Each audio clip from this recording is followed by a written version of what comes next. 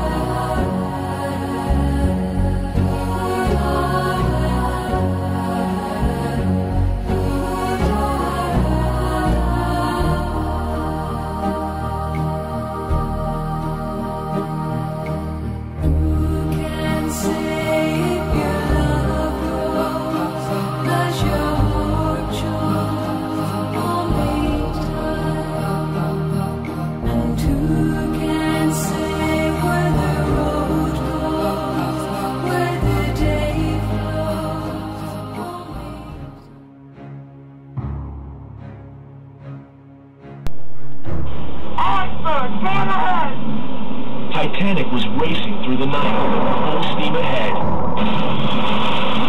Her owners, White Star Line, were trying to make headlines with an exceptionally fast crossing, even though they had been warned about icebergs.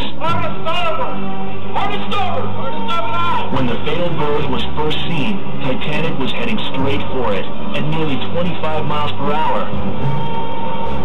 The lookouts and averted to head on, but the 46,000-ton ship struck the iceberg a glancing blow.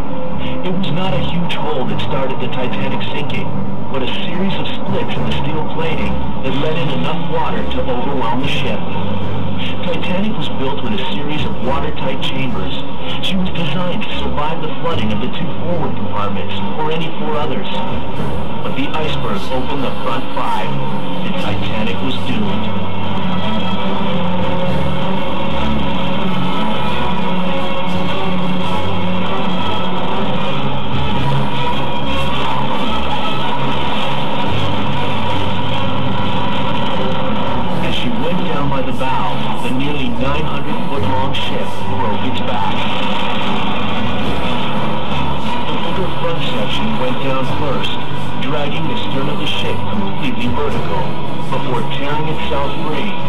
Going down like a torpedo, ripping off most of the superstructure.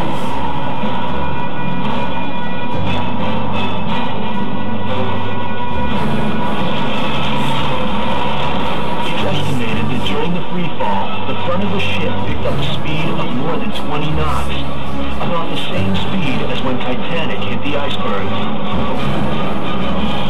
The bow plowed into the ocean floor, embedding itself 62